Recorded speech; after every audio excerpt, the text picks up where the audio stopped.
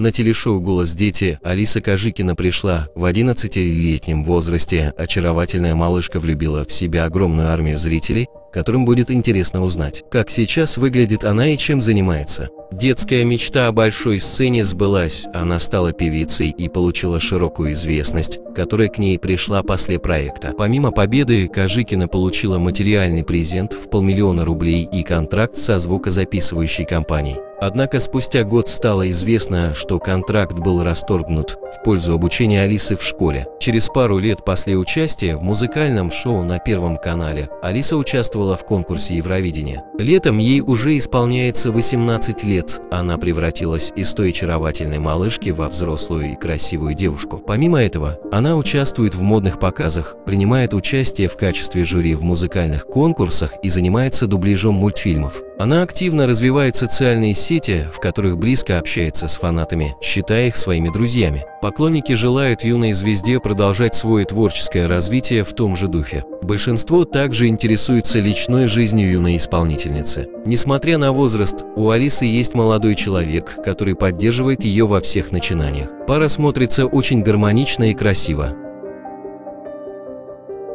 Если вам понравилось данное видео, оцените его, пожалуйста, лайком и напишите в комментариях ваше мнение. Большое спасибо за просмотр.